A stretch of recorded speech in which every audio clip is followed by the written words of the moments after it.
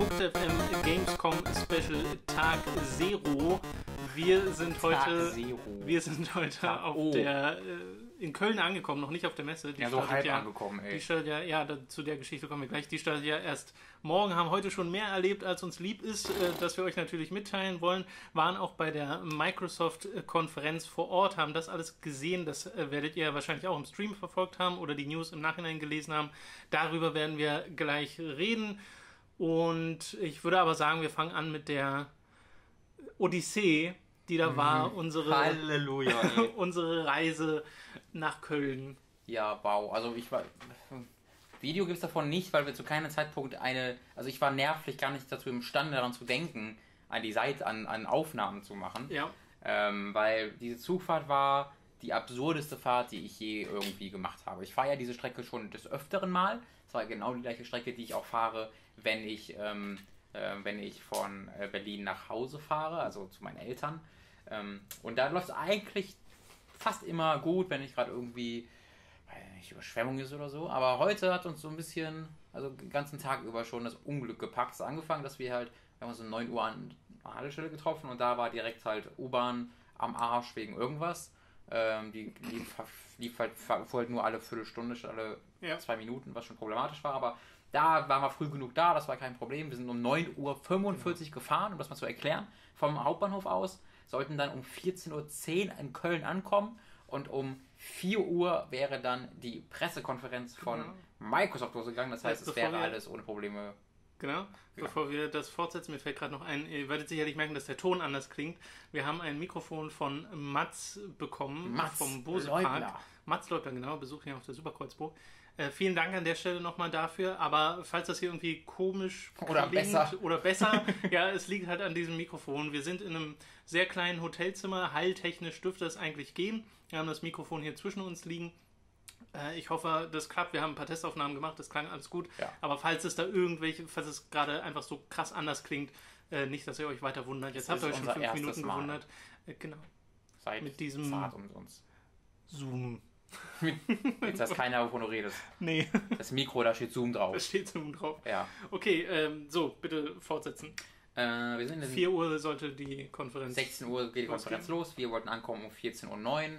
Damit wäre alles ganz entspannt gewesen. Sehr entspannt. Ja. Mann, wäre das schön Das gewesen. wäre das wär was gewesen. Da kam auch pünktlich, alles gut. Und dann ähm, kam irgendwann so die Durchsage von wegen, wegen einem Notfalleinsatz müssen wir leider Bielefeld, glaube ich, umfahren. Was ja ähm, mir wiederum zeigen könnte, dass es Bielefeld tatsächlich vielleicht nicht gibt. Aber äh, äh, deswegen musste Bielefeld umfahren werden, weil es irgendeinen Notfalleinsatz dort am Bahnhof gab. Ähm, und deswegen kam halt zuerst so eine Durchsage, die sagte, ja, guten Tag, äh, leider wegen Notfalleinsatz müssen wir umfahren. Bielefeld entfällt äh, dafür. Dafür fahren wir stattdessen über Löhne oder sowas. Ja. Da dachte man so, ja, na gut. Und dann man gut, ja, mein Gott, wir sind ja früh genug gefahren. Habe ich gesagt, äh, solange es nicht länger als eine Stunde ist, ist alles gut. Also das waren wirklich die Worte, die Robin gesagt hat. Ja. Mir. Und original so ein paar Sekunden später kommt so eine Durchsage, ja, guten Tag, äh, wir kommen dann bald, wir fahren jetzt nach Löhne statt nach Bielefeld. Wir werden da mit einer Verspätung von neun zig Minuten zu rechnen haben. Das kam halt direkt als Antwort auf meinen Kommentar, solange es länger als eine Stunde geht. Ja. Da dachte ich schon, ey, herzlichen Glückwunsch, weil 90 Minuten, dann kommen wir halt statt 14.10 Uhr um 15.40 Uhr am Hauptbahnhof an und um 16 Uhr geht halt die. Konferenz los. Da kann man sich schon denken, das würde eher knapp. Ab dem Zeitpunkt hat dann äh, Robin auch quasi angefangen, äh, Pläne zu schmieden, wie man es doch noch schaffen könnte, da hinzukommen. Ja, und ich wurde schon ne- sehr, sehr nervös, weil ich habe mich sehr gefreut darauf, diese Konferenz live Ja, ja, ja. betrachten zu dürfen. Das war ein äh, hauptsächlich ein Ab der Gefühle für Robin ab diesem Zeitpunkt. Und äh, dann stellte sich ja heraus, äh, weil du auf Twitter so ein bisschen unterwegs Ein bisschen warst, ähm, dass es noch einen anderen Zug gab, nämlich den vor uns, in dem so ziemlich die gesamte andere Mannschaft der Berliner Journalistenszene Ja, bei saß. uns, bei uns waren ja auch noch mehr, muss man dazu bei sagen. uns ne? waren auch noch ein also wir haben es zuerst gesehen, weil äh, Mikkel und äh, Hyuga, Genau. äh, falls du das hörst, Hyuga, hallo, äh, weil äh, die sind an, an uns vorbeigelaufen sind, nach vorne und dachten, ja nee, wir gehen jetzt zu, äh, irgendwie zu, zu Floyd und Christine und so, die sind alle da vorne. So, hm, okay, krass, da wusste man nichts von. Dann kamen sie ein paar Sekunden später wieder, sagten so, nee, ist doch nicht hier, äh, weil sie dann erfahren haben tatsächlich, dass die dachten, die bei dem gleichen Zug, aber die, äh, also die ganzen Giga-Leute und äh, halt Gamona, Spieletipps, ähm, also so Leo, Christine, Malte, Jo, die ganze Schose, waren alle in einem Zug vor uns. Die sind Ja. also eine Stunde vor uns aus Berlin losgefahren, hatten aber ähnliche Probleme, wenn nicht sogar noch deutlich mehr Probleme. ja, weil sie im Endeffekt gleichzeitig mit uns ankamen. Ja. Und dass das irgendwie zustande gekommen ist, ist wirklich, weiß ich nicht, das ich Also auch noch nicht ich, erlebt ich, der ich möchte das nochmal kurz chronologisch weiterführen. Das sieht dann so aus, halt, dass wir irgendwann so weiterschreiben und sagen, ja nee, wir sind jetzt irgendwie 110 Minuten Verspätung und die sind im Schritttempo wohl gefahren, weil sie an jedem Bahnübergang, hatte mir Malte danach erzählt, mussten sie irgendwie über, musste einer irgendwie aussteigen aus dem Zug oder so Ja. und dann diesen Bahnübergang überwachen, weil die nicht ja nicht gesichert waren, aber wir sind da komplett einfach durchgebrettert. Ja. Also ich weiß nicht, ob da einfach der die verarscht hat oder sonst irgendwas. Und irgendwann sind wir dann in, in einem Bahnhof in Hamm halt angekommen und in Hamm wird der Zug geteilt. Das heißt, es werden ja statt einem zwei Zugführer gebraucht und halt auch Leute, die den Zug teilen. Ähm, dann standen wir da irgendwie so, schon 5 Minuten, 10 Minuten und 15 Minuten und so, oh fuck, ich war schon ziemlich lange da. Ähm, und zu diesem Zeitpunkt war es halt schon so, wir hatten zu diesem Zeitpunkt schon statt den 90 Minuten nur noch 70 Minuten. Ja, weil Ja. wir quasi auf dieser, weiß nicht, jetzt haben wir einfach 90 Minuten geschätzt, aber wir sind irgendwie schnell genug gefahren, dass wir auf 70 ist wieder sogar runter. noch weniger. Zu dem Zeitpunkt hatten Ja? wir sogar noch weniger. Da Okay. waren wir, glaube ich, über 60 oder sowas, wo wir uns schon gesagt haben, okay, nee, dann schaffen wir das ja noch. Ja. Aber da habe ich dann halt so auf Twitter geschrieben, so, ja, jetzt, wo dann die Durchsage halt kam, von wegen, ja, guten Tag, wir, Sie bemerken vielleicht, wir fahren nicht. Und der war auch so mega glücklich, der, der Fahrer mit seinen Durchsagen hat mich auch wütend gemacht. Äh, ja, wir stehen hier, haben Sie vielleicht gemerkt. Ähm, und dann sagte er, ja, es fehlt halt doch Personal, das ist nicht da. Ja. So, wo ich mir so denke, ja, wir sind jetzt, war ja nur absehbar in den letzten anderthalb Stunden, wo wir die Umfahrt gefahren sind, dass wir vielleicht hier zu diesem Bahnhof kommen. Ich schreibe das so auf Twitter und in der Sekunde, also wir hatten quasi schon so einen ewigen Twitter-Feed, wo halt wir alle, also Christine und Tino und Yoga und Mikkel und alle zusammen diese, mit 15 Menschen pro jedem Post da geschrieben haben und äh, schreibt das halt auf Twitter und dann bekomme ich halt die Antwort, ja, und was sollen wir erst sagen von Christine? Und dann gucke ich halt nach links und dann steht halt deren Zug im Gleis neben uns ebenfalls da. Ja. Und das ist halt so krass, weil die sind eine Stunde früher losgefahren und dann haben wir sie so echt eingeholt. Aber dann sind sie irgendwie so irgendwann mal losgefahren und wir fünf Minuten später auch losgefahren, in Wuppertal angekommen und dann äh, haben die schon auf Twitter geschrieben, oh, Wu- Wuppertal ist Ende. Was, wie Wuppertal ist Ende? Wir sind jetzt gerade so wieder, äh, jetzt sind wir, da waren wir wieder auf 80 Minuten ungefähr angewachsen. Jetzt gerade so, dass es klappen kann. Aber aus irgendeinem Grund haben die dann dazu entschieden, weil die beiden Züge gleiche Destination haben, gleiche Ziel und äh, fast den gleichen, ja, gleichen Zeitpunkt ankommen würden, mussten dann quasi der alte, vorher ähm, losgefahrene Zug mit Christine und sowas, die mussten dann umsteigen in unseren Zug, wie wir eine Stunde später losgefahren sind in Wuppertal. Ja. Zwisch vorher bin ich dann nochmal auch durch den Zug gegangen und habe da äh, LeFloid getroffen und äh, auch unser Gigaflo und auch der auch bei uns schon war. Ja.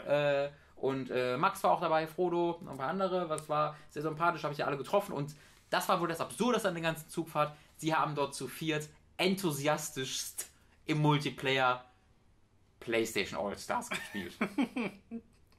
Das ist wirklich, dass, dass das überhaupt noch jemand spielt. ja. Und der Flo war auch ehrlich, also Floyd war auch so ein bisschen angegriffen, als ich das hinterfragt habe. Ach so. Ja. Warum ist das Spiel dann schlecht? Nee, ist okay. Entschuldigung. Es ist ja nicht schlecht, es ist halt nur ist nicht so gut. halt auch nicht so gut, ne? Ja. Das war so das Absurdeste, dass du in diesen, in diesen Wagen kommst, wo halt hauptsächlich so ältere Leute ruhig sitzen und hinten sind dann die voll am. Ausrasten am PlayStation All-Stars abspielen. Ich mal wieder zurückgegangen und dann ging es auch weiter. Ähm, Ende der Geschichte war dann, dass wir um 15.30 Uhr angekommen sind. Ja. Also mit 80 Minuten Verspätung. 16 Uhr, wie gesagt, ging das Ding los. Und man Ähm, sollte eigentlich schon deutlich vorher da sein. Eigentlich sollte man schon deutlich früher da sein, genau. Und dann äh, sind wir halt wirklich mit Gepäck und dann mit Malte und Dominik von Giga zusammen äh, äh, eben zu den Taxiständen gelaufen. Äh, ganz so, so schnell wie es ging. Und dann da, hier, wir müssen da und dahin. War auch dann direkt in den Hauptbahnhof, deswegen waren wir dann auch schnell da. Und dann hatten Tom und ich aber noch so einige Probleme, dann auch reinzukommen, weil wir auf einer Liste nicht standen. Und dann musste man auch Ja, äh, ja. Microsoft-Personal dazu holen. Aber es war ein. Englischsprecher, der war nicht da. Und boah, das war dann ein ziemlich langes Hin und Her. Äh, und irgendwann haben wir dann aber das Bändchen bekommen und da sagte er so, ihr müsst euch aber beeilen. Ja, ihr müsst euch jetzt aber beeilen, geht jetzt nach oben. Und dann sagte er schon so beim nach oben laufen zu halt der Konferenz, ja, ihr werdet wahrscheinlich nicht mehr reinkommen. Ich so, mm, innerlich schon halb ausgerastet. Wir sind bis dahin gekommen, vor 16 Ja, Uhr. ja. Und dann ging halt auch, wollten wir halt original gerade die Türen schließen. Ja. Und wir sind oben angekommen und wir konnten uns dann noch gerade reinquetschen und hinter uns wurden die Türen geschlossen. wirklich- Und in der Sekunde, wo wir saßen, kam dann Welcome to the Xbox Briefing. Das war wirklich. Und man muss sich das halt vorstellen, dass wir halt aus Berlin losgefahren sind und diese 500 Kilometer mit den anderen dran exakt in der Sekunde geschafft haben abzuschließen, in der es losging. Ja, Also da war ich sehr, sehr glücklich. Das war dann ein, äh, ja, ein, guter, ein gutes Ende dieser Odyssee. genau. Ich wollte gerade sagen, es hat irgendwie geendet mit perfektem Timing. Ja, wirklich. Wie auch immer das klappen konnte. Ja. Äh, und da waren wir dann sehr glücklich, dass es, äh, dass die Türen da geschlossen wurden und wir ganz schnell zu unseren Sitzen geleitet, Ja. gelotst wurden. Ja. Und äh, dann konnte die Konferenz auch losgehen und damit können wir jetzt auch anfangen, über die Spiele tatsächlich zu reden. Aber diese Odyssee gehört einfach dazu. Auf jeden Fall. Das ist. Das war, also ich war schon, jetzt wirklich, ich bin noch nicht in Köln angekommen und ich war schon fertiger als nach drei Tagen Ja. im letzten Jahr bei der Es, Köln. es ist halt ganz witzig. In den letzten Jahren sind wir immer bei äh, Giga mit dem Flugzeug geflogen. Hm. Und ich glaube, wir beide sind jetzt nicht so die größten Fans vom, vom Fliegen. Also ich hab- eigentlich. Fliegen ist nicht das Problem, sondern halt das Drumherum. Das Nee, genau. Also mir geht's auch. Ich habe jetzt auch keine Angst vorm Fliegen Ja. oder sowas, aber ich finde einfach Zugfahren entspannter. Genau. So. Und äh, ausgerechnet in dem Ja. Jahr, wo man es mal selbst organisiert und sich einen Zug bucht und wir extra noch gesagt haben, ja komm, wir nehmen den einen früher, damit es besser passt. Zum Glück haben wir nicht noch einen früher genommen, weil das wäre. Also, wir waren hier schon fertig mit den Nerven. Stell dir echt mal vor, du wärst in dem Zug, wo die Giga-Leute drin gewesen Ja. wären, die halt einfach zwei Stunden später waren und dann noch aus ihrem Zug aussteigen mussten, ey. Äh, Allerdings war. Robin zu beobachten sehr lustig äh, während der Zugfahrt, vor allem weil vor uns, Danke, zwei. Reihen vor uns noch äh, so zwei Kids saßen, die mit zwei Priestern zusammen, die sie vorher nicht kannten. Kein Kontext. Sich, kein Kontext. Die haben sich, also gut, der Kontext ist, äh, dass der Vater hat die Ich finde aber die Geschichte gut, besser, wenn sie einfach da steht, als zwei Priester und zwei Kinder Es ist saßen halt, vor es uns. ist halt wirklich so. Es ist halt wirklich so.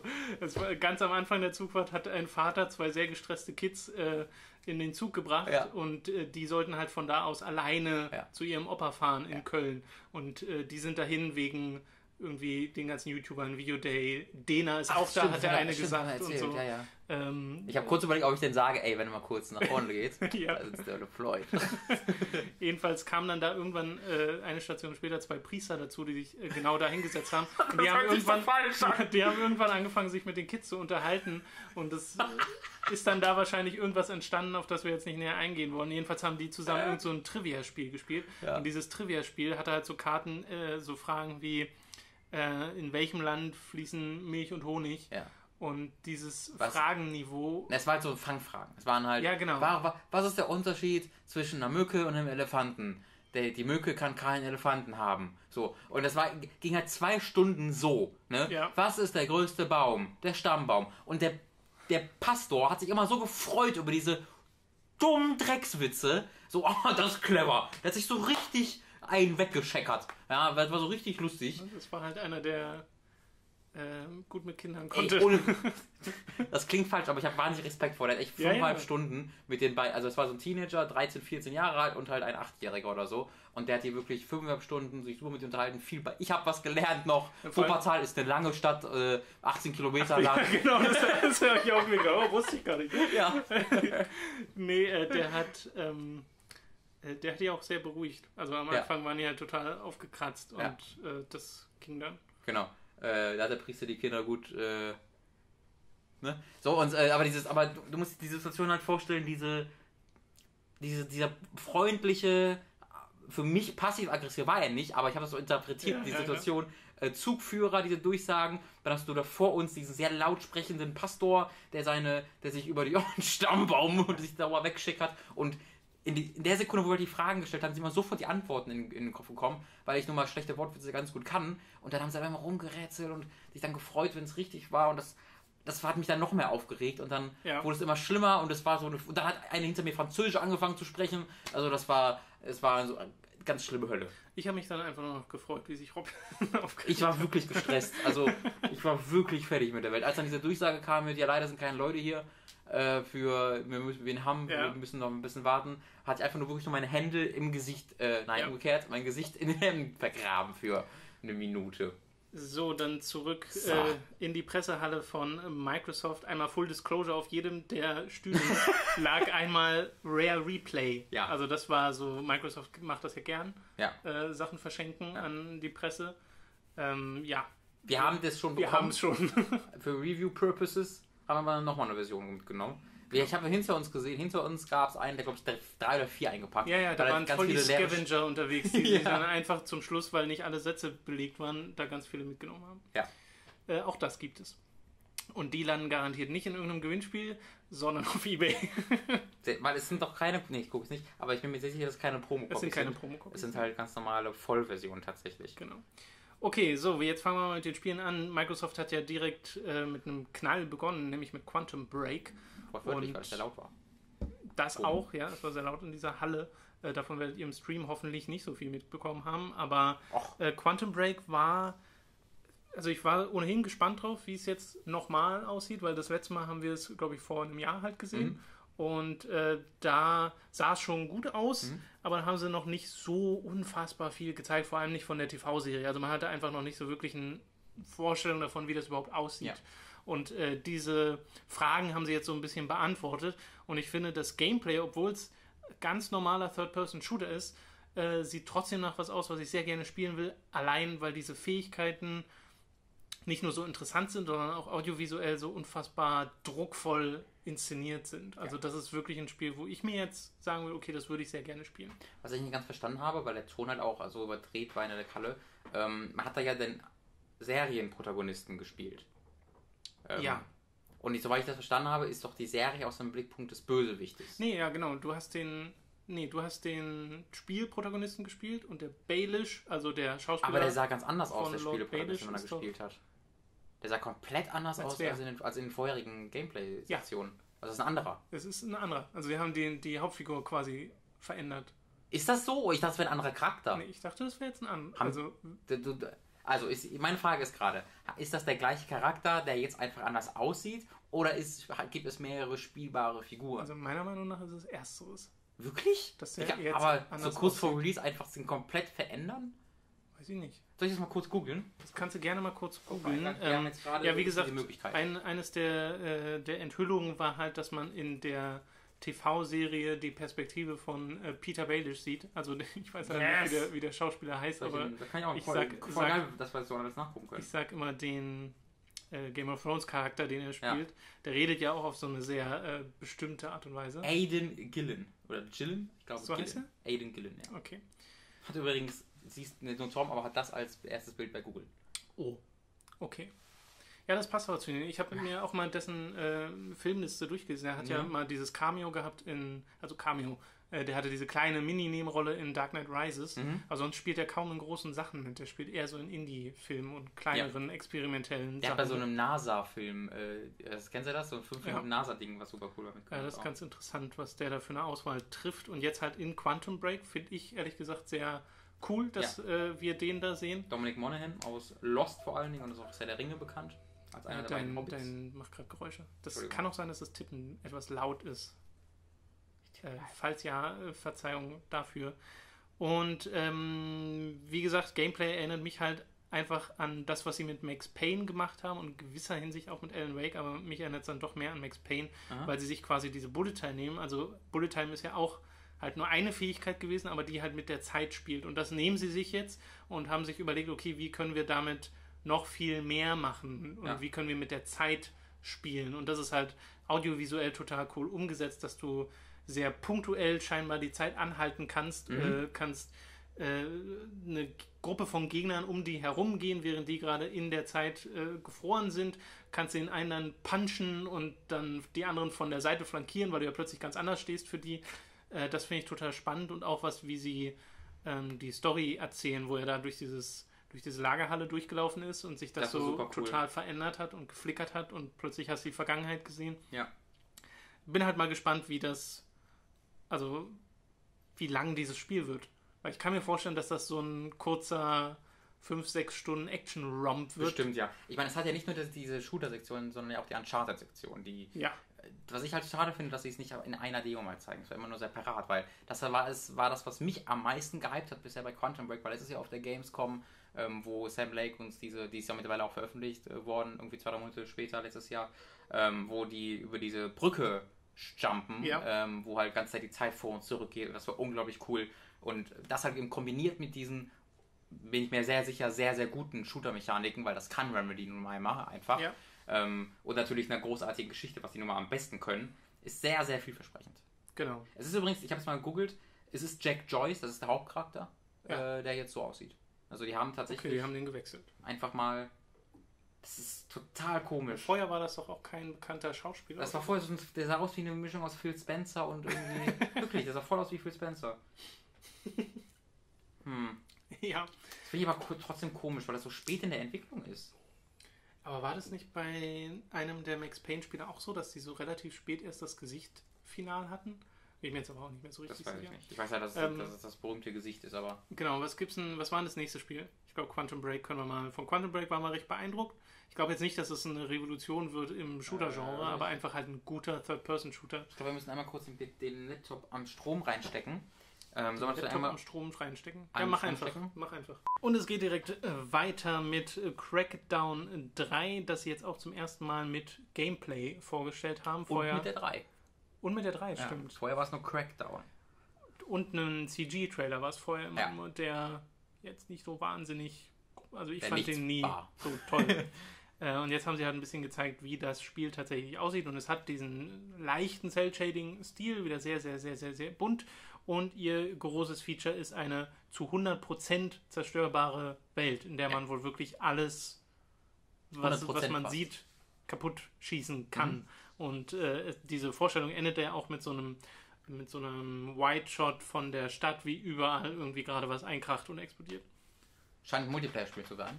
Ähm, es stand auch ausdrücklich ja Multiplayer Starts in 2016. Ja, Ähm, ist ja auch alles mit der Cloud und die Destruction ist nur. stimmt, das habe ich schon ewig nicht mehr gehört. Die haben ja diesmal gesagt, dank der Cloud Computing. ja, aber das war ja Power- schon, also die Entwickler heißen ja irgendwie Cloud irgendwas, Ja. Cloud Engine oder sowas. Ähm, und die Sache ist ja, bei, bei der Ursprungsankündigung der Xbox One haben sie einfach immer statt Dedicated Servers Cloud gesagt. Ja. So. Ähm, deswegen wurde das halt so ein bisschen entwertet und jetzt benutzen sie es nur noch, wenn sie es auch meinen. Das ist halt bei Crackdown der Fall, dass sie tatsächlich da einen Großteil der Arbeit für das System an die Cloud abgeben und so halt diese komplette Zerstörung zeigen können. Leider Gottes war der Trailer nicht besonders äh, ja, zeigefreudig dafür, dass das Spiel halt nächstes Jahr rauskommen soll. Ich meine, ergibt auch Sinn. Ähm, man muss eine Werbekampagne jetzt nicht unbedingt ein Jahr vorher starten, haben sie Ja. aber einfach gemacht. Deswegen, wenn sie schon zeigen, hätten sie noch ein bisschen mehr zeigen können. So gab es halt im Grunde zwei Shots, die dann wirklich ein bisschen aussagekräftiger waren. Und die sahen, finde ich, auch super geil aus. Ähm, weil einfach die, dieses Gebäude stürzt in das andere Gebäude und das alles bricht dann wirklich so ein, wie ich mir das vorstellen würde und verschwindet nicht einfach. Ähm, das war schon echt beeindruckend. Ich habe auch noch so ein GIF äh, gesehen, wo ähm, jemand so eine Mauer wirklich ganz einzeln aus, auseinandergenommen hat. Das ist also nicht nur im großen Maßstab funktioniert, sondern auch in so einem kleinen Maßstab. Ne, und dass es keine vorgefertigte Zerstörung ist. Also Genau. dass du selbst Muster tatsächlich Ja. reinschießen könntest in irgendwelche Dinge. Ist so jetzt endlich mal eine Weiterentwicklung von Red Faction Gu- Guerilla, die mal längst überfällig war eigentlich. Hat schon Ähm, lange keiner mehr gemacht in der Form. Genau, in der Form wirklich nicht. Ähm, ansonsten kann man da jetzt, also ich glaube, man kann schon sehr gut abschätzen, was es wird und das ist Crackdown 1 mit diesem Feature. Ja. Weil das sah optisch genauso aus, ähm, das sah von dem, von dem HUD sogar fast genauso aus, Mhm. die Story wirkte genauso, nämlich dass sie nicht existiert. Ähm, es gab ja im ersten Crackdown so diesen ganz großen Twist, die Agency ist eigentlich auch böse. Ah, ich habe den, wurde dann, ersten- ich hab den ersten gar nicht gespielt, ich habe den zweiten gespielt. oh Gott, den schlechten auch noch. Ne, ist das so? Weil Ja. es hieß Ja. doch immer nur, der zweite ist so wirklich Nee, nur doof für die, die den ersten schon gespielt haben, weil es im Endeffekt das gleiche nochmal ist. Nee, der ist schlechter.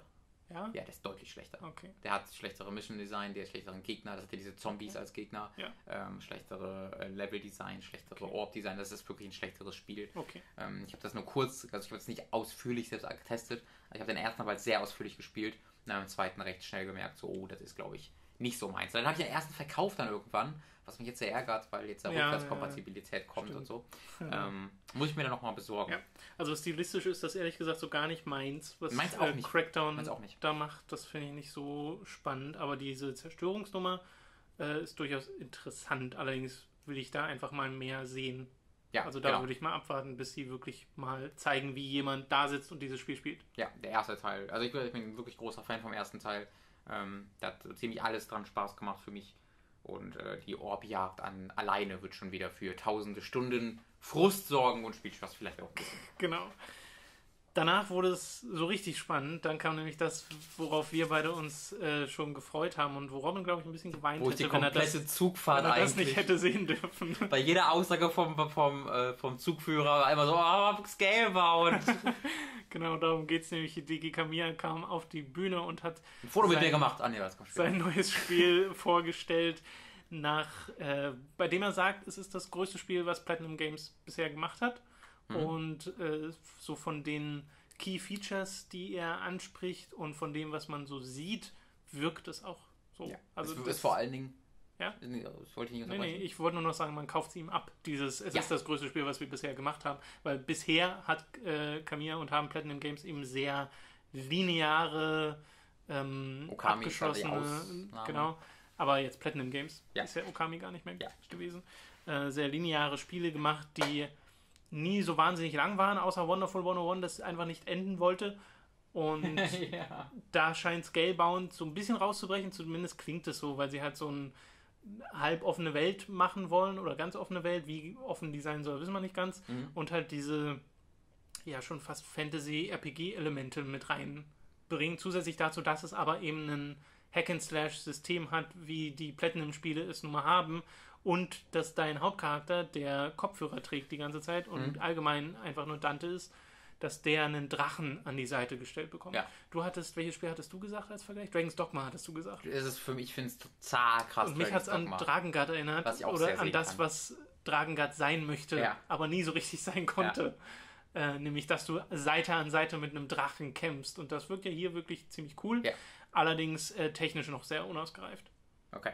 Ähm, genau, das ist das große Problem. Es wirkte halt neben Dragon's Dogma sehr, sehr so wie Final Fantasy 15 auf mich. Über die Zahlen, die rausploppen, über die Animationen, das langsame Combat, bis hin zur Framerate, weil Genau. die war auch nicht gut. Das war wirklich äh, eines der größten Probleme sogar an der Demo, was halt nicht überraschend ist, weil die Framerate tatsächlich in der Entwicklung eine späte, eine späte, ähm, äh, wie sagt man, Ja, es wird halt optimiert, wird immer zum Schluss. Genau, es wird immer zum Schluss optimiert, zum Schluss wird die Auflösung hochgeschraubt, zum Schluss wird die Framerate äh, gefixt und das Spiel ist halt noch ein Jahr vom Release weg, dass überhaupt schon Gameplay so gezeigt wird, ist da äh, schon unüblich, würde ich sagen.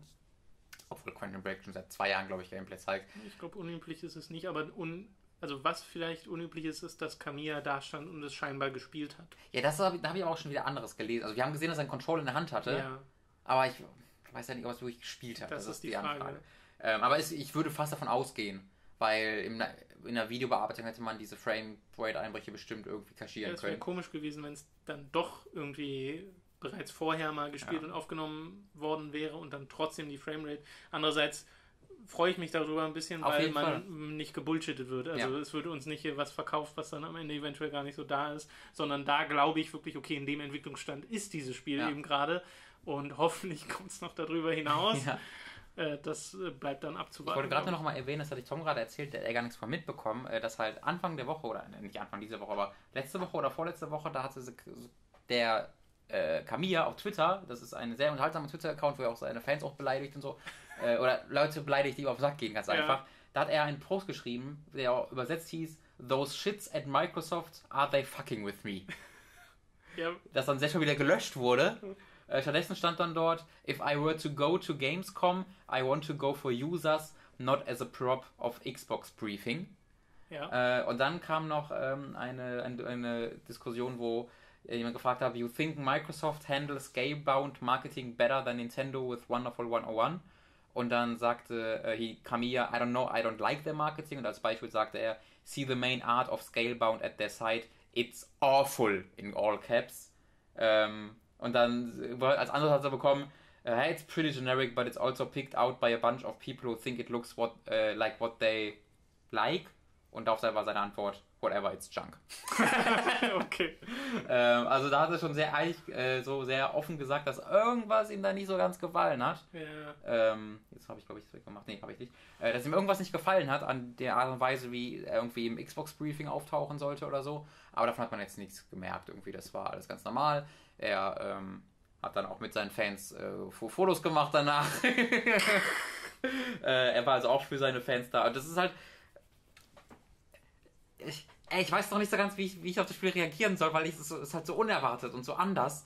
Ähm, ich weiß, es ist halt das Traumspiel von Kamiya. Es hatte schon gesagt, es ist das Spiel, was Kamiya seit zehn Jahren versucht zu machen Ja. und was er nie, wo er nie die Möglichkeiten bekommen hat, weil es eben so groß ist und so neu und so ungewöhnlich. Und da haben sie halt mit einem vor zwei Jahren wahrscheinlich äh, völlig desperate, äh, so völlig verzweifelten Microsoft, hat er den perfekten Partner bekommen, weil der ihm einfach Geld hinterhergeschmissen haben würde und gesagt, ja, mach uns irgendwas Exklusives. Ja. Ähm, und das scheint so, also es sieht da unglaublich gut aus. Es sieht wirklich verdammt gut aus. Die Partikeleffekte sind der Hammer. Der Die Drache Animation von die dem Drachen Animation sind von dem wirklich, Drachen. wirklich gut. auch so wahnsinnig viele unterschiedliche Dinge. Ähm, wie die Monster miteinander, also wie dieser Drache mit dem riesigen Monster kämpft hat. Da gab es Ja. scheinbar keinen Angriff zweimal.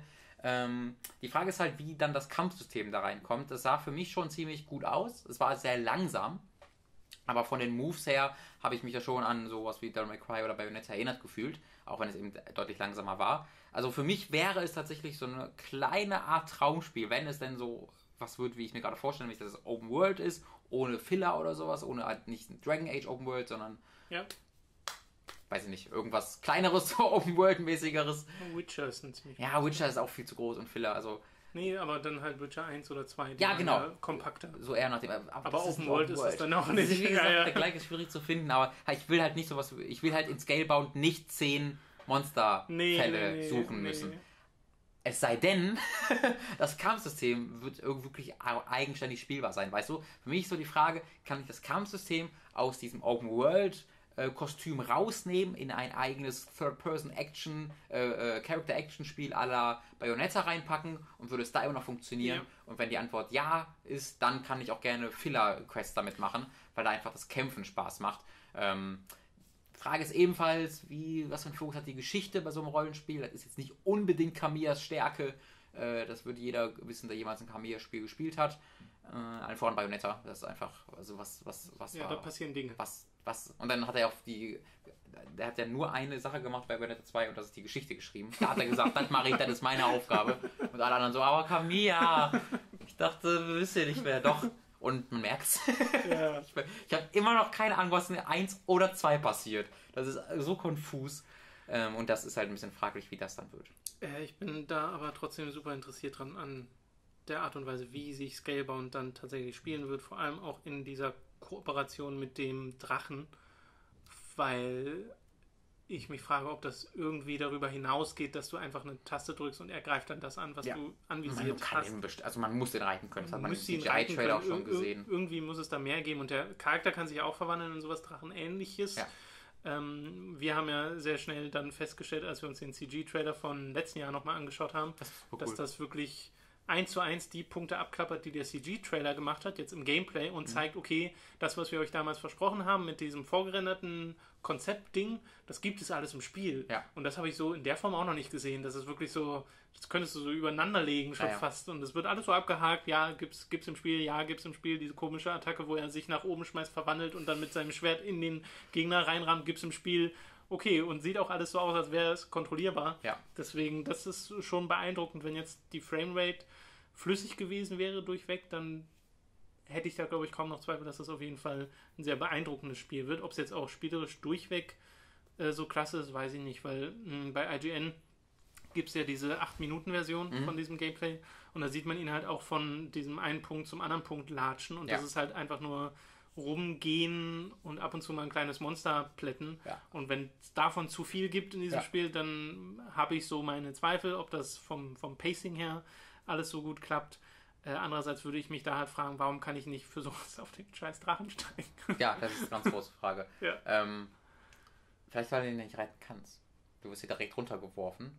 Ja, er ist so ein Äh, bisschen, er hat ja einen Charakter. Also der ja. Drache ist ja nicht nur ein Spielelement, er soll ja auch wahrscheinlich im, in der Story eine große Rolle spielen. Äh, was ich noch cool fand, war die Nummer mit den Kopfhörern. Das wirkt zwar mega tacky und halt so pseudo-cool. Ja, das Aber ist dass das, er- was Kamiya macht Ja, halt. ja, aber auf eine Art und Weise, wo ich dann sage, ja, okay.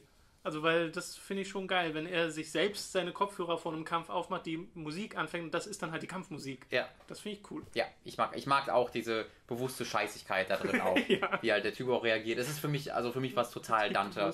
Dante aus Devil May Cry 1 Ja, und 3 ja, ja. hat mich total krass daran erinnert.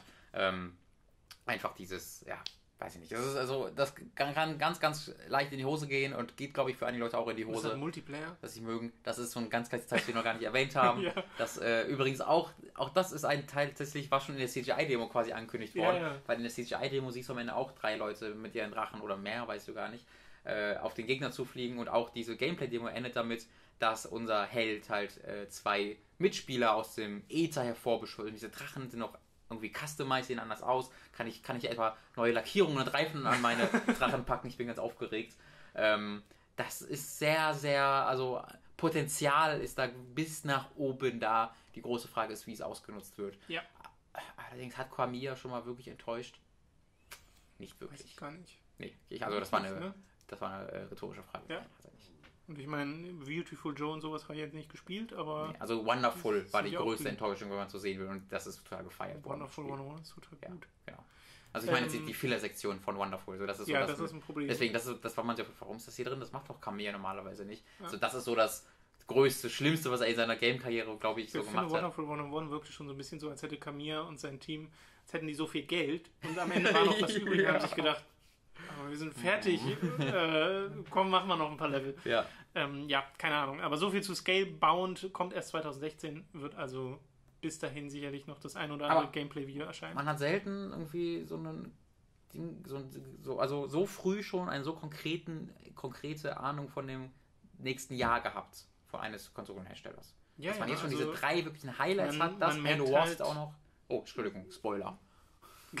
Man merkt halt, dass äh, seit Phil Spencer übernommen hat, dass er da Microsoft wieder in diese Richtung Games, in diese Schiene ganz stark presst und das ging natürlich nicht von einem Tag auf den anderen. Ja. Deswegen, es gab ja vor zwei Jahren, glaube ich, diese Konferenz, wo es dann, oder nee, war das, war das letztes Jahr? Was meinst du? Ähm, wo es dann hieß, okay, wir machen jetzt nur Games.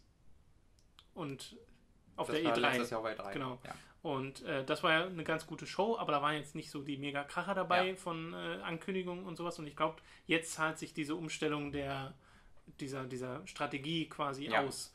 Weil wenn jetzt noch Don Metric da wäre, dann wären wir wahrscheinlich immer noch bei TV. Das muss er halt auch immer noch, muss er immer noch mit ausbaden. Also dieser Tomb Raider Deal ist ja ein Don Metric Deal, den er halt dann mittragen muss und wo er tatsächlich gestern oder ich sage immer gestern, weiß ich gestern sage, aber vor sehr kurzem kam ein Interview mit Phil Spencer, wo er meinte, es, wir werden diese Third-Party-Deals nicht mehr machen auf lange Sicht. Ja. Äh, das hat er auch heute nochmal erwähnt, ähm, dass sie halt jetzt wirklich mehr auf First-Party gehen wollen, wie das auch Sony macht. Normalerweise, außer dieses Jahr, weil es da nichts gibt wirklich außer Bloodborne von Sony ähm, in First-Party. Und Until Until Dawn ist kein First-Party. ähm, und dass halt wirklich Microsoft mit eigenen Studios jetzt mal was äh, bauen will.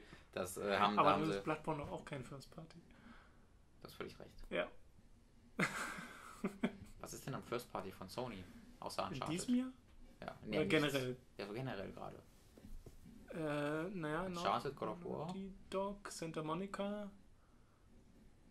Ich weiß nicht, es gibt einfach nicht. Wobei selbst. Ist Santa Monica wirklich noch Sony? Ja, Okay. Ja, keine Ahnung. Hm. Äh, ist auch eine ganz andere Diskussion. ja. Aber das ist halt, war halt immer mal schon so eine Schwäche von Microsoft, dass die halt keinen wirklich extensiven, großen First-Party-Support haben, und der dass sie, den, den sie hatten, so mit war halt total Rare. Die Geschichte ist ja auch bekannt. Ja, genau. Und es war halt sonst immer sehr, sehr, ja, Shooter, Ballern, Bam Bam, das ist First Party Microsoft. Ähm, Und das versuchen sie offensichtlich jetzt ein bisschen auszubauen. Das finde ich äh, ganz vielversprechend. Was immer noch sehr viel Shooter bei Ja, genau, bei also- ist. Genau, also Ja. ist es, ich meine, jetzt Stand jetzt ist es immer noch sehr viel und ich habe das Gefühl, dass Phil Spencer Das jetzt gerade in diesem, im letzten Jahr damit anfängt, das zu ändern und Ja. ich hoffe, dass dann in den nächsten ein, zwei Jahren wir wirklich mal das Journey so äquivalent Ja. auf Xbox vielleicht sehen. Äh, nach Scalebound haben sie im Endeffekt die drei Spiele abgehakt, bei denen sie bei der E3 gesagt haben, okay, die sind nicht auf der E3, die sind Ja. bei der Gamescom. Und danach wurde die Konferenz so ein bisschen komisch. Ja. Äh, dann wurde nämlich sowas vorgestellt, wie dass du einen ja quasi Videorekorder bald haben wirst in deiner Yay. Xbox One, dass die äh, Fernsehserien aufnehmen kann, Geil. während du spielst. Dafür habe ich Internet.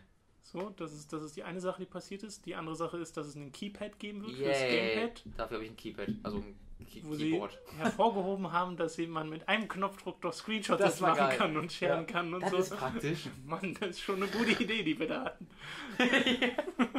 Our talented team at Microsoft. Genau, und äh, Windows 10 wurde noch mehrmals erwähnt auf verschiedenste Arten und Weisen. Ohne jetzt aber sowas zu machen, wie zum Beispiel zu sagen, dass Halo oder Gears of War 4 Hm. auch für den PC kommen, wobei ich das immer noch nicht so ganz ausschließen würde für die Zukunft. Also Ja. ich kann mir vorstellen, dass sie die Dinger immer noch raushauen, exklusiv für Xbox One und später dann vielleicht, Ja. weiß ich nicht. Ja, also das gucken. war das Besondere war, dass diese ganzen Nicht-Halos im Grunde fast alles für Xbox und, P und Genau. PC kommt. Und äh, Indie-Spiele gab es noch ein paar, sie haben sowas Eine gezeigt Menge wie. sogar, ne? Hä? Eine Menge sogar. Ich will ein Genau. paar. Ja, ja. Aber kein einzelnes hatte jetzt so unfassbar viel Platz. Sie haben sowas Ja, gemacht genau. wie den Trailer für Ark, Ja. das jetzt auch in diese Game Preview-Programm, weil es ja Early Access jetzt auch auf dem Xbox gibt, im Endeffekt unter anderem Namen. Und da ist halt Ark dann mit drin. Äh, was war noch mit drin? Dieses Happy Few. Happy We Happy Few, genau, Mhm. wo der Trailer richtig, richtig toll war. Das ist ein Survival-Spiel. Ja, wie, wie Ark auch, ne? Wenn du den Ark-Trailer siehst, denkst du dir, boah, was, ich kann hier Ja. einfach reiten auf Dinos und dann greife ich Festungen an. Glaub, vor Baumhauen. Ja, da sind. Robin und ich nicht die größten Fans. Das ist so absurd. Guckt euch mal nachher wirklich die Trailer von We Happy Few und Ark an und macht euch dann klar, es ist das gleiche Genre. es ist so völlig absurd und so eine Versch Ach, Entschuldigung. Da, da, da stecken einfach so coole Spiele hinter, die einfach unter diesem Crafting. Filler-Blödsinn Ja. versteckt sind. Minecraft haben sie auch reingekriegt in ihre Konferenz, Richtig. dass sie das wieder geschafft haben. Das muss man fast Respekt vorhaben. Aber da war ein sehr ähm, nervöser Mojang-Mitarbeiter auf der Bühne, der dann auch noch Cobalt vorgestellt hat. Mhm. Oder Cobalt. Ein Multiplayer 2D-Shooter mit so einer Mega-Zeitlupe, die du. Ja, keine Ahnung, die- habe da nicht wirklich. Ich glaube, das soll jeder zu jeder Zeit anmachen können. Ich glaube, Okay. das ist so ein bisschen der Witz und deswegen wird es schwer, den Gegner zu treffen. Okay. Bin mir aber nicht ganz sicher, das sei jetzt nur deduziert aus den, äh, diesem, diesem einen Gameplay-Trailer, Ja. den wir da gesehen haben. Äh, fand ich aber ganz niedlich, dass dem die Bühne gegeben wurde. Ja, ich fand es gut, äh, die Einblendungen während des Trailers so un unnecessarily large simulated Ja. space. Stimmt. Also kur kurzer Sieg an No Man's Sky und äh, Star Citizen und so. Das äh, muss man sich, glaube ich, mal in der Zeit angucken, was da alles stand. Ja. So, was Da gab es noch Revivals of Aether, das ist irgendein Four-Player-Ding, hat es, glaube ich, noch nicht mal gezeigt. Äh, dann gab es noch äh, Sheltered, wo wir ja schon gesagt haben, Ja, oh, ja. das ist tatsächlich auch jetzt schon draußen ähm, für Xbox One und PC. Da werden sie sich gedacht haben, Mensch, schade, dass Fallout, wie ist das? Fallout Shelter? Ja, ja, leider das gleiche Spiel schon erschienen ist, äh, nur halt mit Fallout-Lizenz. Ja, vor allem bei Fallout Shelter konnten sie auch gar nichts machen, weil als das angekündigt wurde, war es draußen. ja, ja. Das, das kam einfach wirklich genau ich meine, bei das Sheltered jetzt auch, nur dass Ja, ich halt leider einen Monat zu spät war. so, oh, die armen Leute. Tut mir auch sehr leid. Ja, Dann wahnsinnig viel Team 17, ne, ihr Worms-Ding. stimmt. Es gibt ein neues Worms, das sieht aus wie Worms. Und Wobei dann die Würmer jetzt mehr derby aussehen als vorher. ist das so? Ja. Das sah für mich aus, exakt aus wie Worms. Dann gab es halt noch irgendwie ein paar Sachen, diese Publishen. Äh, Th- Thimbleweed Park gibt es auch bei Xbox One. Genau, Ron Ähm, Gilbert stand auf der Bühne, das fand ich schön, den das mal wieder cool. in etwas größerer Form zu sehen. Was sie auch gezeigt haben, war Killer Instinct, äh, das ja jetzt in die nächste Season geht, das für PC erscheinen wird, also für Windows 10 ganz Ja. speziell. Und dass äh, den einen Battletoad, der hat auch einen Namen, den ich Who- jetzt nicht, nicht kenne, dass halt der Battletoad äh, als quasi Gastcharakter dazu kommt.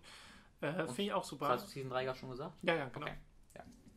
Äh, das ist also auch eine Sache, die passiert und ich habe Killer Instinct sehr gerne gespielt auf der Xbox One. Ja. Das ist ein sehr cooles Kampfspiel, vor allem wegen dem Announcer. Eigentlich nur wegen dem Announcer, seien wir doch mal ehrlich. City Skylines kommt.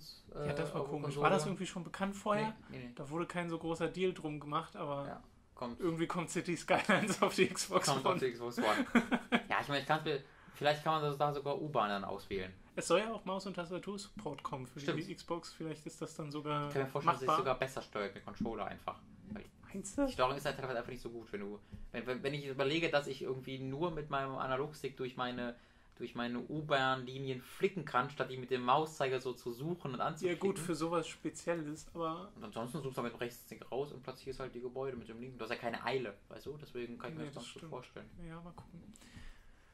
Äh, Backwards Compatibility war wieder ein äh, Thema, das jetzt im Endeffekt, also da haben sie ja wirklich einfach nur das gesagt, was sie auf der E3 im Ja. Endeffekt schon gesagt haben. Da gibt es nicht wirklich. Naja, sie haben konkret, also Ja, es wurde ein bisschen konkreter. Es gibt jetzt einen Termin, mhm. wann die kommt, nämlich im November.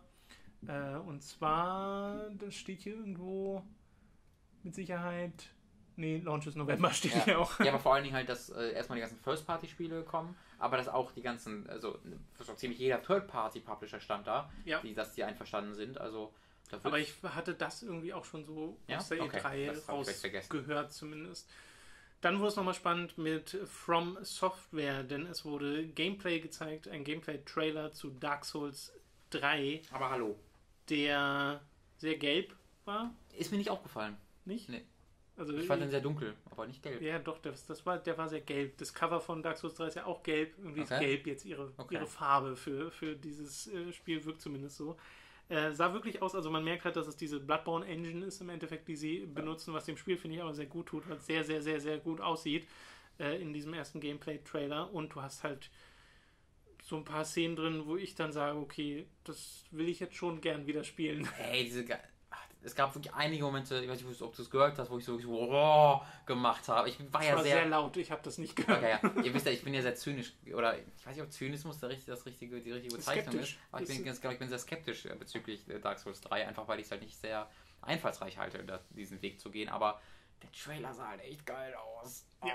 Also es wird halt wieder ein Souls-Spiel werden und wir werden es ja auch anspielen. Wir hätten sogar heute theoretisch anspielen können, Ja. weil nach, der, nach dem Media Briefing gab es so eine äh, so einen Keller im Endeffekt Ja. in dem gleichen Gebäude, wo ganz viele Anspielstationen standen, aber es gab original eine für Dark Souls 3 Hm. und um die herum stand eine Traube von 20 Leuten. Ja.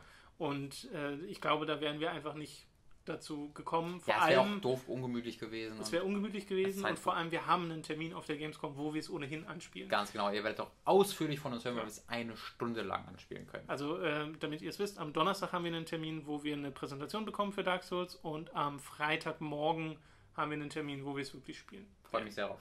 Da freue ich mich auch sehr drauf. Aber ja, dieser, dieser Trailer hat mir wirklich diese Momente, wo man die Bosse gesehen hat, die teilweise einfach so ri- riesig, gigantisch groß waren, was ich so eigentlich nicht ganz kenne. Also Demon's Souls hat da sowas mal drin, aber ansonsten. Es so, ist nicht sehr Souls-typisch, dass die Nee. Bosse. Also, natürlich gibt es sowas wie den Gaping Dragon, Ja, aber aber, das war ja noch nochmal mal eine ein paar Dimensionen größer. Ja, also, also es gibt eine Szene, wo dieses Gesicht einfach aus dem Dunkel, Ja. oh, das war so. Wobei ich mir da fast vorstellen kann, dass es gar kein Bossgegner ist. Das stimmt, das könnte einfach Ja. ein Horror-Element sein und that's it. Und es ist einfach Freund des Patches. Ähm. oh Gott, Patches wurde geupgradet. Also tatsächlich, wenn dieses Spiel, wenn mir niemand sagen würde, dass es Dark Souls ist und hätte Bloodborne daneben gestanden, hätte ich auch, also Bloodborne DLC hätte ich genauso ja, zugestimmt. Ich würde nicht wirklich erkennen, dass es Dark Souls ist statt Bloodborne. Ne, nur an der Weil Stelle, wo du halt diese Feuer, klassische Rüstung siehst Aber ich und meine das jetzt, Feuer. ich meine jetzt halt vom Gameplay her, weil es Ja. sah wirklich, es sah sehr viel schneller aus als Dark Souls in der Vergangenheit, mit aber Elementen von Dark Souls, dass du eben Backstab zum Beispiel hattest, wo ein groß- großer Deal in diesem Kann aber natürlich sein, dass es einfach nur am Trailerschnitt liegt, dass das Kann einfach schneller rüberkommt. Aber ja, also da bin ich tatsächlich sehr angefixt worden von, Ja. ähm, weil es halt einfach nicht so aussieht. FIFA wurde dann noch gezeigt äh, und war FIFA. Da habe ich auch nicht verstanden, was sie mir sagen wollten. Da Sie hab haben ich irgendwas von zugehört. Legends geredet. Ich habe zugehört, aber ich habe es einfach nicht verstanden. Und äh, deswegen überspringen wir das an der Stelle Ja. auch einfach mal ein bisschen und kommen zu Homefront The Revolution, Was für ein Spiel? Das äh, noch existiert. Hä? Von Deep Silver kommt das. Wer? Die, du meintest irgendwie mal ein Extra-Studio dafür Soll gemacht. ich mal ganz kurz nachgucken, was das genau ist? Genau, das wäre mal schön zu wissen, wer genau das äh, Spiel entwickelt. Es wurde auf jeden Fall gezeigt mit einem Trailer, der gar nicht so schlecht war. Ähm, ah, hm. Ja, ja, ich, zumindest das Konzept, was sie machen wollten, war ganz nett. Ich habe leider kein Wort verstanden, weil es halt so mega laut war. Ich habe schon verstanden, das war halt Ding. wirklich sehr krass. Äh, oh, dieses Kind sagt, äh, Ja, der Kontrast das ist sehr Gute offensichtlich. und wir zeigen was Böse. Der Kontrast war sehr offensichtlich, dass so ein Kind hattest, was äh, bei so einer Präsentation stand und Ja. gedankt hat den Soldaten, die da ihr Land beschützen, in Anführungszeichen. Und in Wirklichkeit ist es halt was ganz anderes. Die sind da, im Endeffekt sind es Nazi-Koreaner, die einen da, äh, die da Amerika ja, äh, beherrschen. Und was sie halt da gemacht haben, sie haben danach Gameplay gezeigt und das sah mega langweilig aus. ja. Das sah so aus, wie Call of Duty vor drei Jahren aussah, mit diesem, dieser Drohne, die du gesteuert hast, also beziehungsweise nicht Drohne, diesem, diesem Fahrzeug Mhm. mit dem kleinen, das dann explodiert ist an, äh, bei den Gegnern. Und ansonsten war da nichts zu sehen, wo ich jetzt aufgehorcht hätte und gesagt hätte, oh, das ist aber interessant. Mhm. Ich finde das Szenario nach wie vor ganz ulkig, aber zumindest in diesem Gameplay war nichts drin, wo ich jetzt sagen würde, ja, das will ich spielen. Äh, ich will ganz kurz die Hintergrundgeschichte mal erklären. Äh, Crytek hatte es In die ja. Crytek hatte es von THQ übernommen, als THQ äh, runtergegangen ist und bei THQ war es noch ein ganz normales linearer, ein linearer Shooter. Crytek hat es dann quasi ge- das, die Co-Publishing-Rechte mit äh, Deep Silver übernommen. Äh, und sie haben daraus dann ein Open-World-Ding gemacht, so irgendwie Far Cry 3 und 4, wie man das halt da jetzt auch in der Demo gesehen hat, äh, so ein bisschen. Und äh, dann hat halt Crytek die finanziellen Probleme bekommen letztes Jahr und dann haben sie die Rechte komplett an Deep Silver verkauft. Ja. Und da entwickelt es jetzt ein Studio, warte kurz, namens Deep Silver Dambuster. Und das war ein neues, ja genau, das war ein neues Studio. Da, das waren, war das die Darksiders Macher? Ich, ge- ah nee, das weißt du, das ist, das sind die, ähm, Crytek hatte doch die Macher von, die hatten so ein englisches Studio, Crytek. Timesplitters? Was die Timesplitters Macher? Das weiß ich Crytek UK? nicht mehr. Warte mal, die hatten Crytek UK gegründet. Live-Recherche. Ja, das war so eine ganz absurde Geschichte. Die hatten irgendwie Crytek UK gegründet. Free Radical war es früher. Ne? Was Free Ach Radical so. waren, die hatten halt Timesplitters gemacht. Ach Gott. Ähm, und äh, äh, Second Sight und Haze, genau. Und das hat dann ja, ging dann ja alles ja, kaputt. ja, ja. Und dann haben sie Crytek UK wurde dann gegründet. Und da haben sie so ein bisschen am Multiplayer von Crytek Spiel mitgearbeitet und haben dann, wenn ich mich recht erinnere, Homefront quasi bekommen, das so fertig zu machen. Und dann wurden sie wieder geschlossen für die, werden den finanziellen Problemen. Äh, und dann wurden sie stattdessen von Deep Silver mit übernommen und in Deep Silver Dambuster umbenannt. Also es ist im. Grunde tatsächlich noch das gleiche Entwicklerteam wie vorher, Ja. einfach unter einem neuen Publisher. Ähm, das ist die Hintergrundgeschichte, Live-Recherche hier bei Hooked. Äh, also eine sehr ja, komplizierte Entwicklung, wo nichts so wo nichts so lief, wie es laufen sollte. Und herausgekommen ist so ein Shooter, der seinen Vorbildern hinterherhinkt von dem, was ich bisher gesehen habe. Wo man so vor, oh, jetzt fängt, ah, jetzt kommt die Assassin's Creed Far Cry Drehung um die Spielwelt, nachdem du diesen Punkt entdeckt hast. Spannend. Da, da, da hast du das explodierende Spielzeugauto aus äh, Black Ops 1, was glaube ich, oder so, oder Modern Ja. Warfare 2, ich weiß nicht. Äh, also da war alles, was man gesehen hat, war bekannt aus anderen Spielen, in interessanter. Ähm, da hat mich wirklich gar, also das heißt, ich habe wirklich sofort alles wieder vergessen von diesem Spiel. Ja, ich glaube, sie wollten so ein bisschen dieses Bild einbrennen von dieser Revolution, wie Hm. die, die Ja, AK nach oben hält und Mit sowas. so einer amerikanischen Flagge den Arm. Ja, ja, ja, und das war ein bisschen heavy-handed. Das ist genau, dieser komplette Trailer war heavy-handed, das Gameplay war heavy-handed und äh, ja, heavy, und die Entwicklung war ein bisschen heavy-handed. Ja.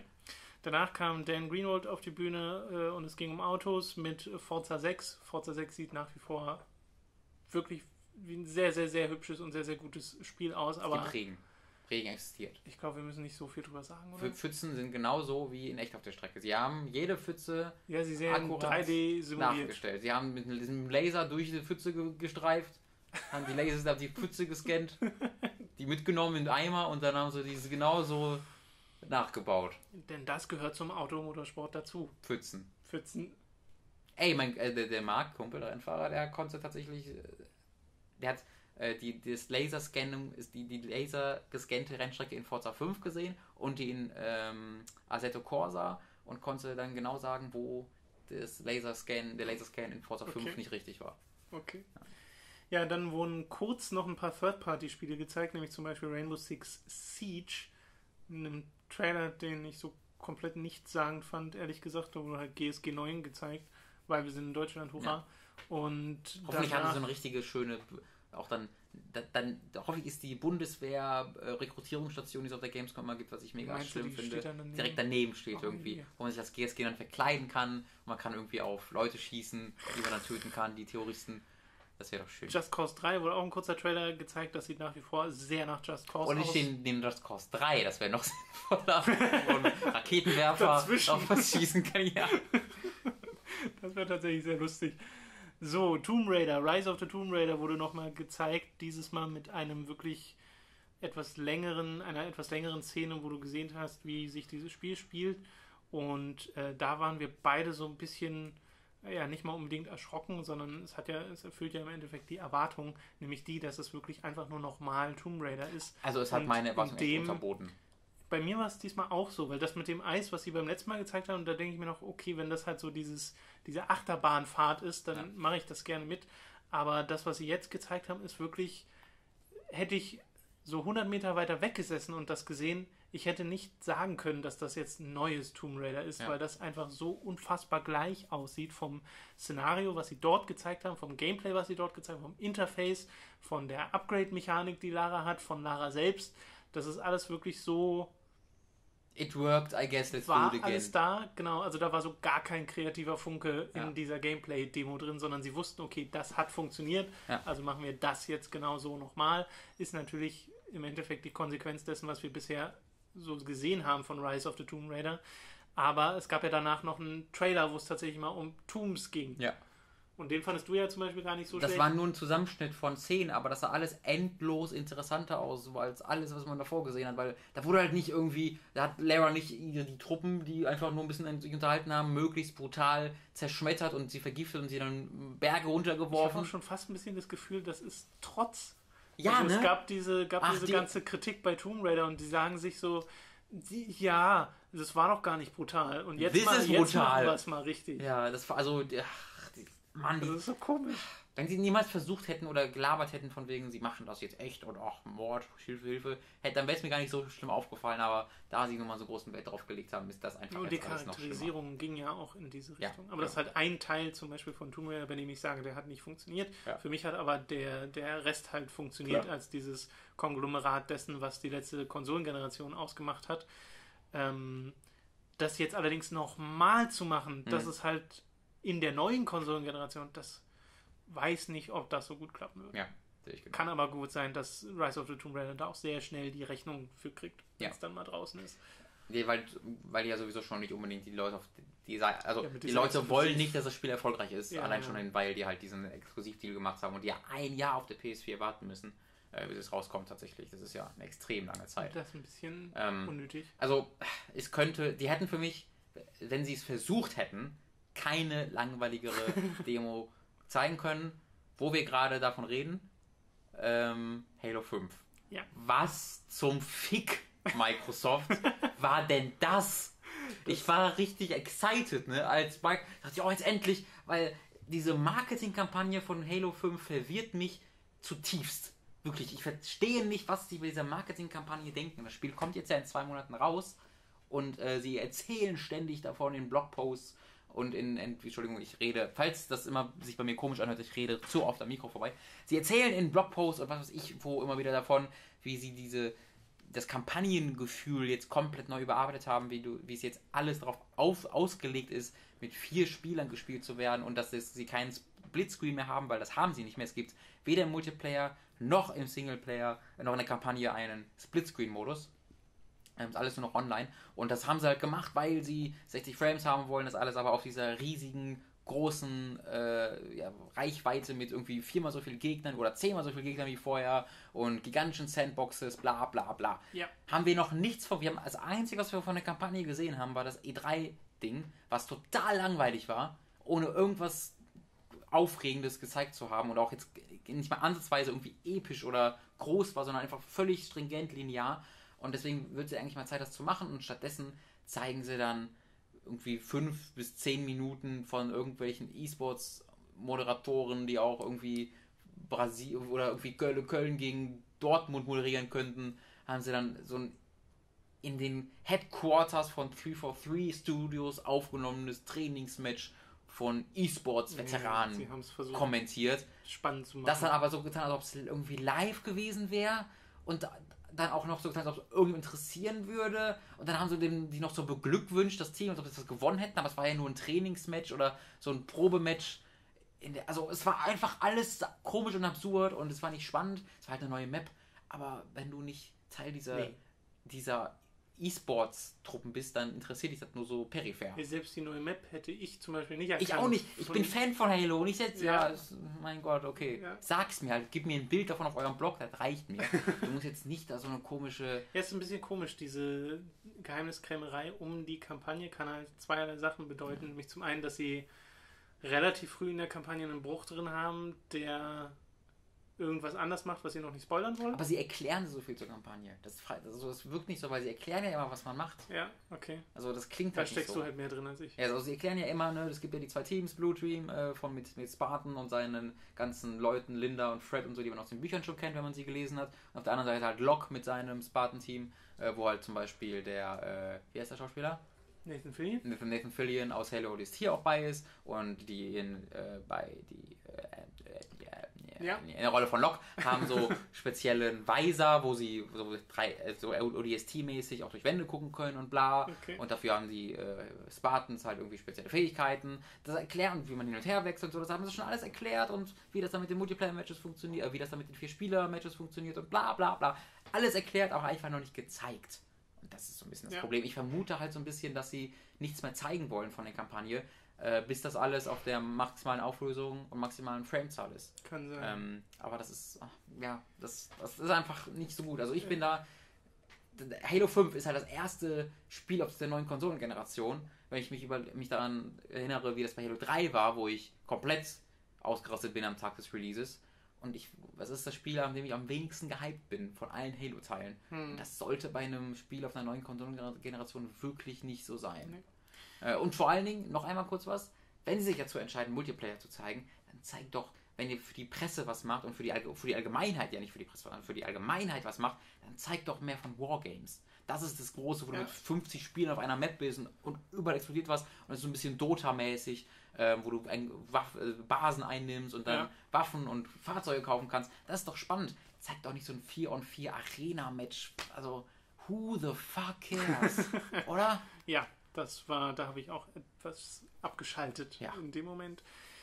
Es war aber zum Glück nicht alles Halo, was sie an diesem äh, Abend gezeigt haben. Haben sie alles wieder gut gemacht. Alles, Weil was ich gesagt habe, ist zum, egal. Zum Schluss gab es noch eine Weltpremiere. Robin hat es vorhin schon mal kurz erwähnt. Es wird unglaublicherweise eine Fortsetzung geben von Halo Wars. Halo Wars 2 haben sie angekündigt. Diesmal natürlich nicht mit den Ensemble-Studios, die es das letzte Mal entwickelt haben, die Age of Empires-Entwickler damals. Die gibt es nämlich in der Form nicht mehr. Sondern mit Creative Assembly und 343 macht da halt mit. Ja. Und die machen zusammen ein Strategiespiel. Da gab es einen kurzen CG-Trailer dazu.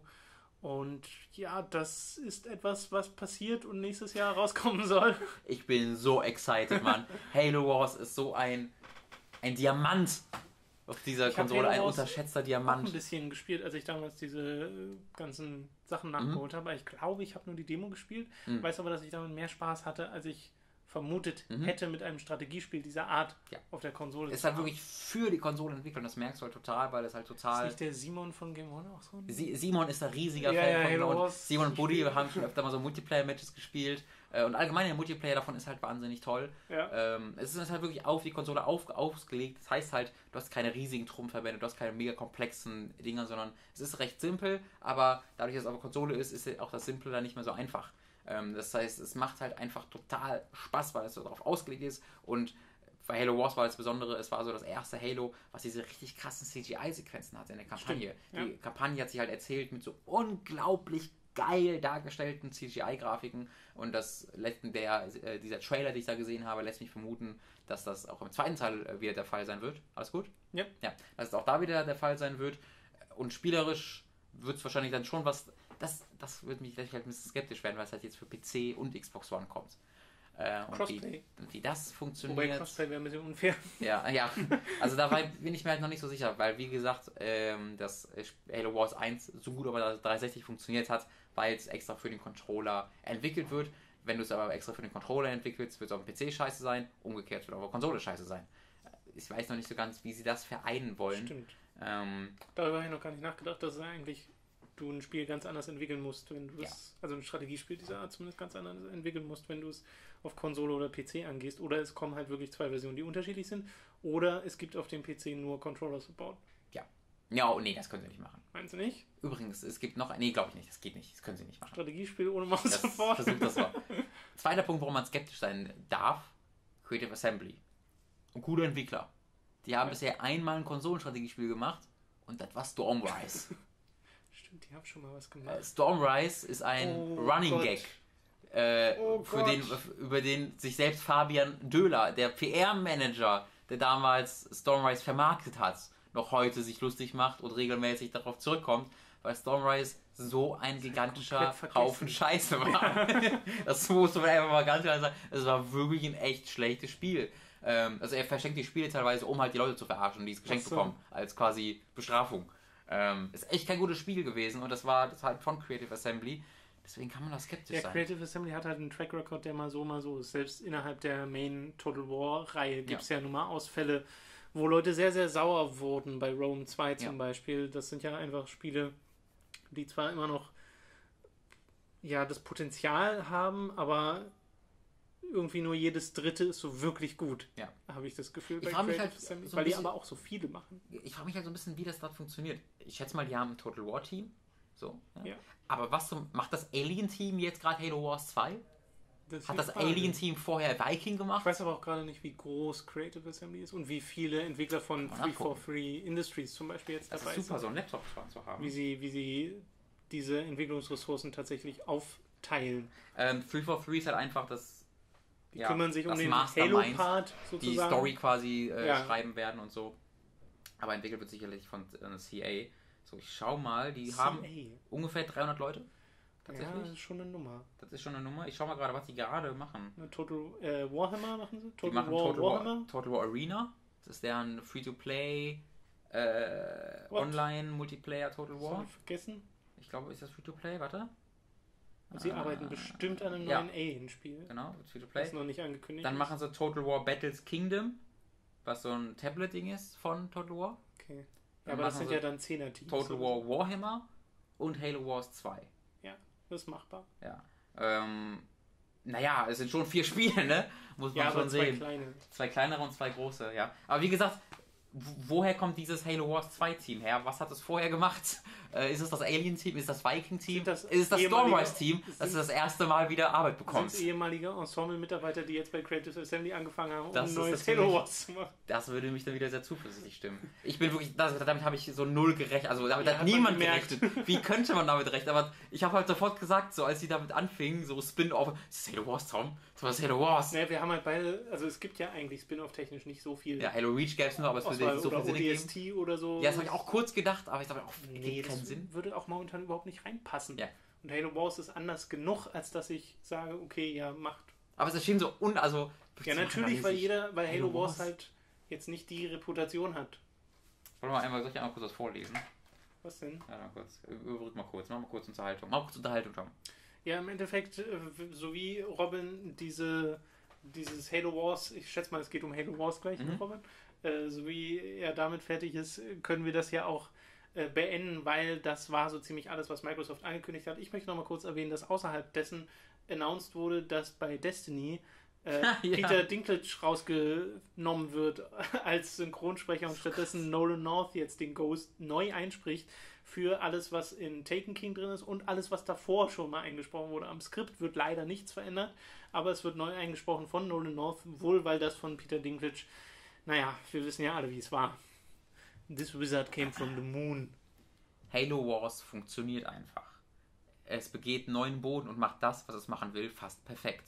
Wer mit dem Argument daherkommt, dass man äh, Rollen, nee, RTS einfach nicht auf der Konsole spielen kann, der liegt schlicht falsch.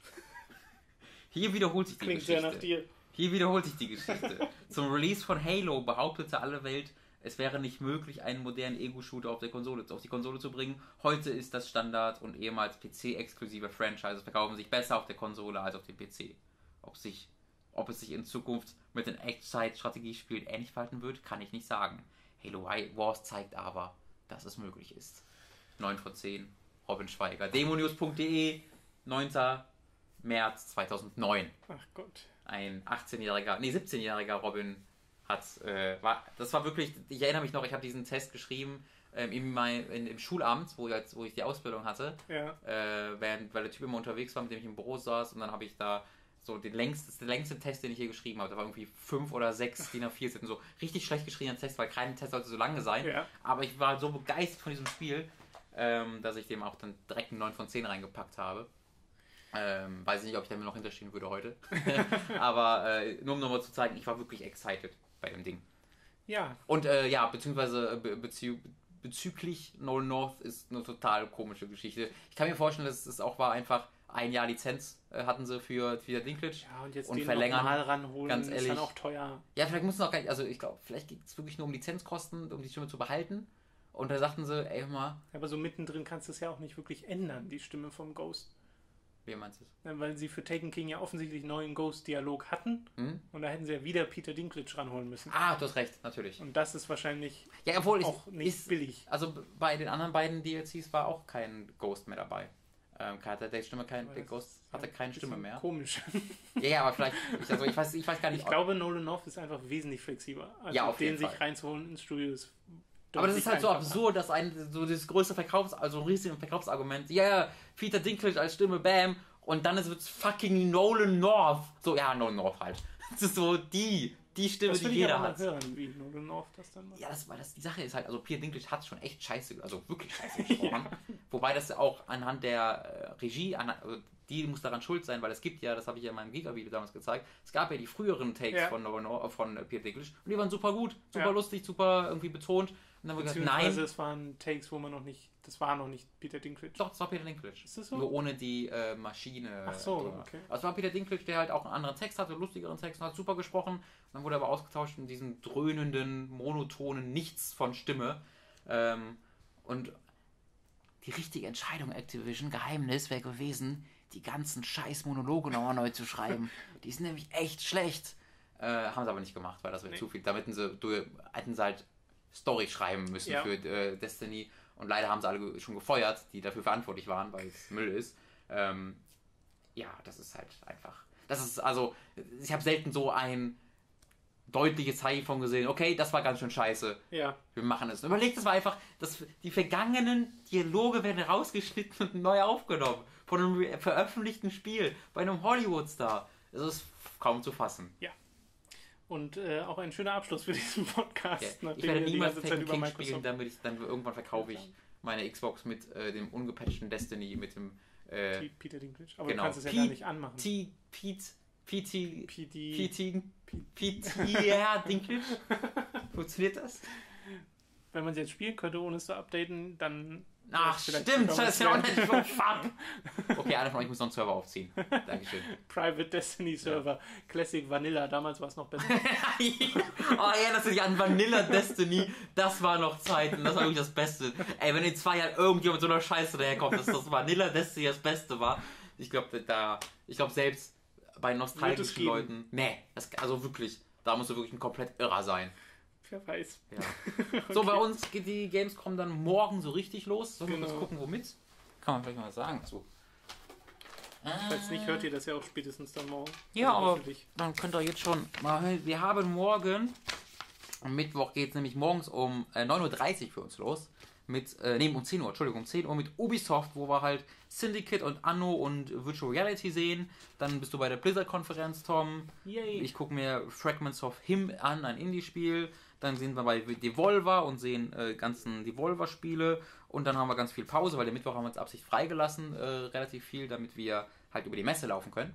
Wenn Äh, sie noch halbwegs leer ist. Genau, wenn sie halbwegs leer ist. Und dann gucke ich mir abends noch, ähm, oder ich weiß gar nicht, ob wir das zu zweit machen können, wir einfach zu zweit hin, gucken wir uns Elex an von äh, Gothic-Machern, das neue Spiel, äh, wird uns da präsentiert. Sehr gut. Und am nächsten Tag äh, kann ich mir die Zwerge angucken mit dem Chef Ian Tayson von äh, King Arts und Markus Heitz und dem Florian Emmerich von Eurovideo.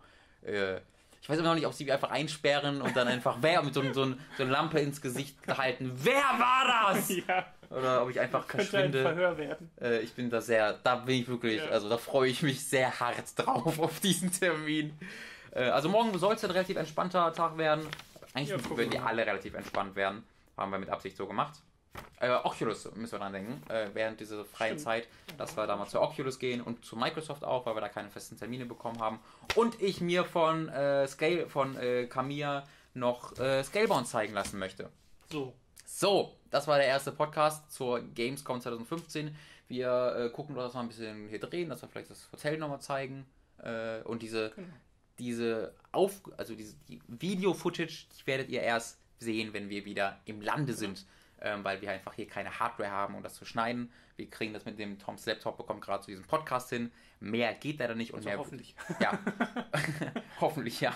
Und mehr wird auch zeitlich äh, schwierig mit zwei Leuten. Ja. Äh, die äh, größeren Studios, äh, die größeren Redakteure haben ja eigene äh, Cutter und Kameramänner dabei. Aber wenn alles so läuft wie geplant, dann habt ihr in den nächsten Tagen jeden Tag oder jeden Abend sozusagen und dann für den Folgetag einen Podcast, wo wir über die letzten Sachen von der Gamescom reden. Genau, und das ist dann auch informativer als so die mal. Also ich glaube, das ist hilfreicher, als wenn wir 10, Ja. 5 ja, Minuten ja, Videos ja. veröffentlichen. Alles klar, dann vielen Dank an der Stelle fürs Zuhören. Wir hören uns dann hoffentlich morgen. Bis dahin, euch noch einen schönen Tag. Camilla, ich habe ein Foto mit Camilla gemacht. Camilla, ich liebe dich. Falls du mich äh, mehr rufst, melde dich. Ich habe dem so einen Visitenkarte zugesteckt. Also wirklich? Ja, nein, hab ich nicht. Aber jetzt ärgere ich mich, dass ich es gemacht habe. Beim Händedruck. Mit so einem Herz drauf. Ja, Hätte ich ihm noch so, Rappen mir gegeben. Tschüss. Camilla, liebe dich. Tschüss.